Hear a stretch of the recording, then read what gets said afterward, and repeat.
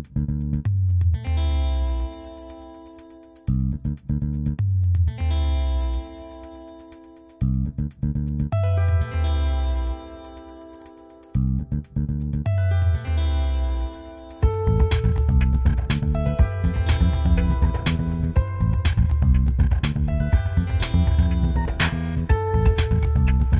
of the most critical things we do in our production season that's often the most overlooked is tapping our trees.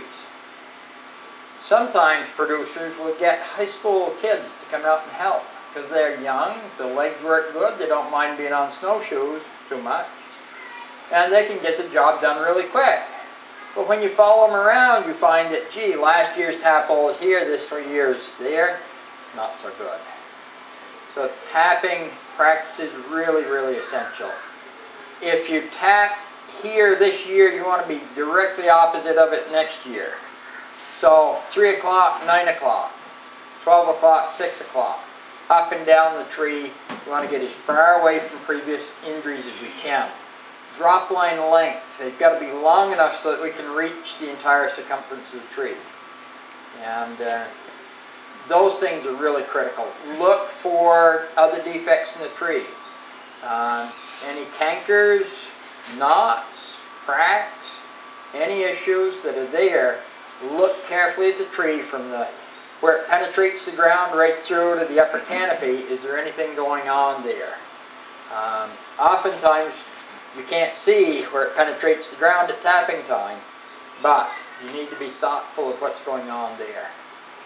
Um, a nice, clean, sharp hole. So this tapping bit might seem silly, but having the right bit is essential to making the best hole. This year, our strongest sap runs were after the 20th of April. There are two things that made that possible. One was every spout in our woods was new as we tapped our trees. Secondly, we drilled a nice clean sharp hole with the right bit. This bit is very expensive. You're going to look at it and say, jeepers, that's a lot of money.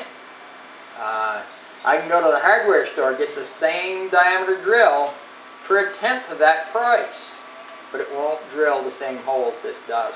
A lot of research has gone into this drill bit, and uh, we had very good results with it. How many taps do you get out of a drill bit like that? That's really interesting. We've always used the titanium nitride bits previous. And I looked at that and I said, that's not going to last. But this drill, we were getting three and 4,000 holes per drill bit. And, uh, and we were changing, I don't know that we had to change them at that time. But I didn't want to push it any further. They're still drilling a nice clean hole. But you know we were getting some wear. So uh, we did change them. I, th I thought you start to hear it in the drill. It, it takes more power to drill Yeah. because it's getting rounded just a little bit. Yes, if you're really observant, you'll pick that up. But to be honest, it happens so gradually that it's a steady progression down. It's not like you chainsaw, you know, you're cutting along, everything's wonderful, and then you stick it in the dirt, and the next thing it just won't cut at all. And so you get on and ride, and still doesn't cut. Pounding a spout into a tree. We've all got hammers of various sizes and shapes. It seems silly to buy a special hammer to pound spouts in a tree. But this is just the right tool for that job. I smiled at it a little bit too. But the soft face, nice big flat face on it, you can hit these polycarbonate spouts and drive them squarely into the tree. It's light, so you're likely not to overhit, and uh, it's totally weather resistant.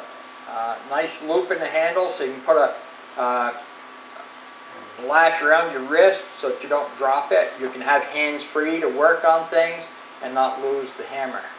Uh, so, seems silly, but this is a, a really good uh, tool to use rather than the old carpenter's hammer or anything else that you might find that's got a rounded face. You drive the spout squarely into the tree and how you swing it, it's not like driving spikes. I do it just with my fingers. No wrist movement at all, just with your fingers. The spout into the tree. Seat it firmly, but don't split the bark. to split the bark. It's bad, bad, bad. That spout will leak the whole season and it'll kill a big section of the tree. So that, the right bit, the right job. Drilling two inches deep into the tree is what we do. Some people go deeper, some people go shallower, but I found that two inches is pretty optimum for tree health and sap collection. Any questions or thoughts so far? Actually running the drill itself. Some of you old buggers remember, if you watch TV at all, there used to be a show on called Gunsmoke. And that was where Marshal Dillon saved the West. Marshal Dillon, with his revolver at 100 yards, could pick the right eye out of a sparrow. Uh, yeah, in flight. And with no sighting at all, just bang, he's dead. Well, nobody can really do that. If you really watch a marksman shoot a handgun, it's always like this, not like that. So drilling a tree, we don't just step up to a tree and drill it. I like to get my elbow against the tree, tripod myself, and drill like this so that I'm straight in, straight out, no wobble, no up and down. It's just like a mini drill press put on the side of the tree so you drill straight in and straight out. Anybody that's a carpenter or furniture maker, you know that if you're drilling dowels to put a tabletop together, you don't just offhand it. You really lock in and drill straight down and straight out. So the other last essential, spinning the drill at the right RPM. On um, most cordless drills on 5 16 bits, if it's a 3 speed drill, we want to run on the center speed. If it's a quarter inch drill, we want to run on high speed. If it's a 2 speed drill, top speed. Want to be spinning somewhere in the 2000 RPM range. And the drill should be wide open as you start and don't let off on it till you're out. Any change in RPM torques a bit and so a lot of guys, you know, they run a chainsaw, their finger has to be moving all the time.